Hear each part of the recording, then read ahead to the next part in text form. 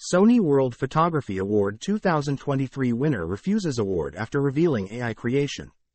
German artist Boris Eldagsen's entry, entitled Pseudomnesia the Electrician, won the Creative Open category at last week's Sony World Photography Award.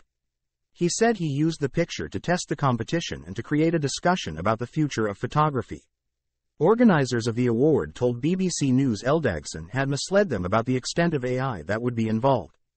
In a statement shared on his website, Eldagsen admitted he had been a cheeky monkey, thanking the judges for selecting my image and making this a historic moment, while questioning if any of them knew or suspected that it was AI generated. Please like, share, and subscribe to Lens Debate Central for more interesting content.